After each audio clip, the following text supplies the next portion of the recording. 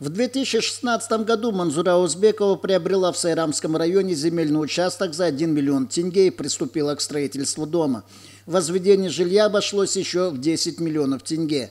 Мать троих детей даже взяла суду, чтобы достроить дом. Решение суда об освобождении только что отстроенного дома для женщины стал громом посреди ясного неба.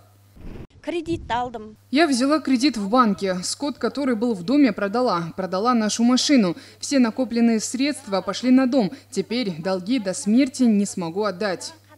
В такой ситуации оказалась не одна Манзура Узбекова. За пять лет свыше сотни жителей разных районов Туркестанской области потратили огромные средства и купили землю. По словам сельчан, в этой местности было реализовано 430 участков. В 2019 году владельцы земельных наделов оспорили претензии государственных органов и выиграли процесс в районном суде. Однако землеустроители обратились в областной суд и отменили решение предыдущей инстанции. Но последнее решение никто из сельчан до сих пор не видел.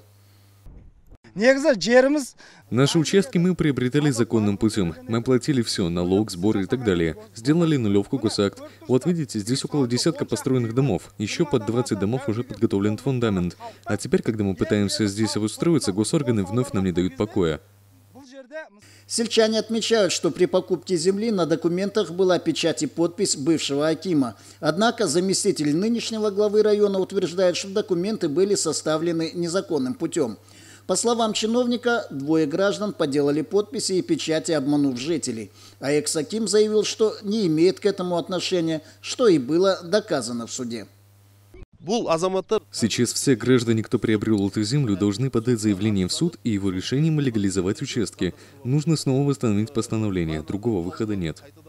Оспариваемые участки находятся на земле сельскохозяйственного назначения за пределами населенного пункта. И нет никакой уверенности, что земельные участки останутся за нынешними владельцами, так как наделы выдаются в порядке очередности.